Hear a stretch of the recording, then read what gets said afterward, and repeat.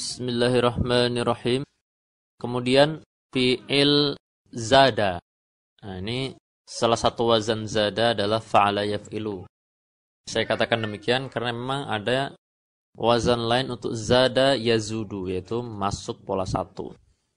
Ya, di beberapa kamus menyebutkan demikian, tapi kita melihat di dalam Al-Quran dengan pola fa'ala yaf'ilu, yaitu ketika disebutkan dalam surah Toha wa qur rabbi zidni ilma. Zada, zada, zadu, zadat, zadata, zidna.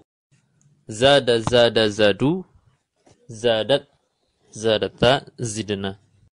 Nah, mulai hunna sampai nahnu itu perhatikan harokat zai itu dengan kasrah. Nah, ini sebagaimana kita tahu seperti tuf ya, tufta itu dengan dhammah menunjukkan kalau ada wawu daripada ajwaf wawi asalnya tawafa. Berarti kalau zada asalnya zayada ya berarti ada ya, ya sebelumnya sebelum berubah menjadi zada ada zayada. Kemudian yazidu, yazidan, yaziduna, insyaallah mudah. Nah, untuk fi'lul amr perhatikan zid, zida, zidu. Zid ini juga tanpa huruf illahnya dan zidn, zidna juga tanpa huruf illahnya. Kemudian la tazid, la tazida, la tazidu. Insyaallah jelas. Fi'il madhi majhul zida, zida, zidu. Ah, kemudian masuk kepada dhamir hunna sampai nahnu zai berubah harakat menjadi dhammah. Nah, ini untuk membedakan antara yang majhul dan yang ma'lum, antara yang pasif dan yang aktif. Ya. Kalau di tofa berarti tufta, kalau enggak majhulnya tifta. Kalau di zada zid maklum aktifnya zita, majhulnya zutta. Kemudian yuzadu mudhari' majhul mudhari' pasif yuzadani yuzaduna dan seterusnya. Insyaallah jelas masdarnya jelas. Ismul fa'il di sini juga seperti taifun Ismul maf'ul, ah ismul maf'ul ini mazidun, bukan mazudun ya. ya. Kalau memang wazannya fa'ala yafilu maka mazidun. Nah, ini mengalami i'lal, jelas mengalami i'lal.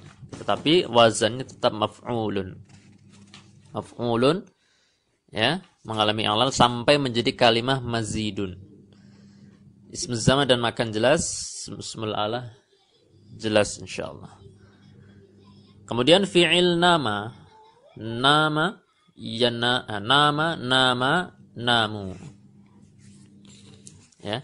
Namat namata nimna. Perhatikan di sini. Nun mulai hunna sampai nahnu berharakat kasrah. Ya, menjadi nimna. Nah, mungkin sebagian kita bertanya, padahal sebelumnya asal nama adalah nawima. Kenapa kok tidak apa dengan numna atau ya dengan numna seperti tufta atau numta gitu kan. Maka jawabannya adalah untuk menyesuaikan bahwasannya wawu yang ada pada kalimah nawima tidak berharakat fathah seperti tawafa melainkan berharakat kasrah. Artinya wazannya adalah fa'ila.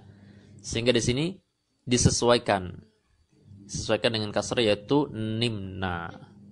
Nimta, nimtuma, nimtum dan seterusnya. Yanamu, yanamani, yanamuna. Kemudian nam. Nah, ini fi'lul amrnya. Nama, namu. Berarti kan di sini nam tanpa huruf illah. Tetapi masuk dhamir antuma, namu, nama, namu, nami, nama dan seterusnya. Kemudian latanam. Nah, Ah, la tanam jelas insyaallah. Adapun majhulnya ya walaupun susah untuk difahami maknanya karena memang ini fi'il lazim ya. Madhi majhul nima. Nima ya, seperti zida. Nah. Kemudian mudhari majhul yunamu. Masdar yang jelas nauman ismul fa'il naimun naimani. Ismul maf'ulnya. Nah, ini juga mungkin untuk maknanya sulit untuk difahami. Tapi ini kiasnya manumun manamun untuk ismul zaman dal makan. Kemudian ismul ala minamun. Kemudian tola masuk pola 5 fa'ala yaf'ulu. Tola tola tolu. Nah ini insyaallah mudah. Masuk ke domir mulai domir hunna sampai nahnu toknya ber, berubah harokat menjadi dhammah. Ya. Seperti tofa ya.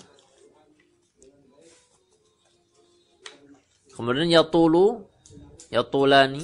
Nah Adapun fi'lul amr dan fi'lun nahi ya, walaupun maknanya sulit untuk difahami tapi ini kiasnya sesuai wazan demikian. Kemudian madhi majhul seperti ya,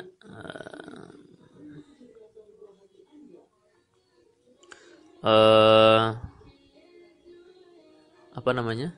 Seperti tifa ya. Tifa seperti tifa. Seperti tifa. Yutalu, nah ini jelas insyaallah mudah. Adapun ismul fa'il atau kita katakan sifat musyabbahah adalah tawilun, tawilani, tawiluna dan seterusnya.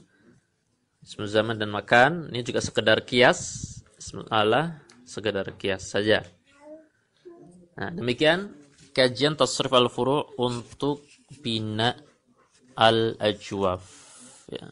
Kalau memang kita e, kesulitan dalam memahami Eh, rincian daripada asal muasal kalimah per kalimah yang ada dalam tasrif al-furu. Kenapa kok langsung bisa jadi demikian? Maka bila memang susah, ini catatan saja bila memang susah untuk memahami proses praktek kaidah, maka silahkan saja untuk langsung membaca apa yang sudah tertuang. Nanti dari yang ada, misalkan kita ingin mencoba mentasrif al-furu untuk kosakata lain, tinggal dikiaskan saja. Oh, nanti bentuknya jadi seperti ini. Jadi bentuknya seperti ini dan seterusnya. Seperti misal mazidun, kenapa kok bisa jadi mazidun? Padahal wazannya maf'ulun gitu. Ya, maka silahkan langsung dikiaskan untuk kalimat-kalimat ajwaf yang lain. Silahkan dibentuk dikiaskan kepada tasrif al-furu yang sudah ada. Wassallallahu wasallam ala Muhammad.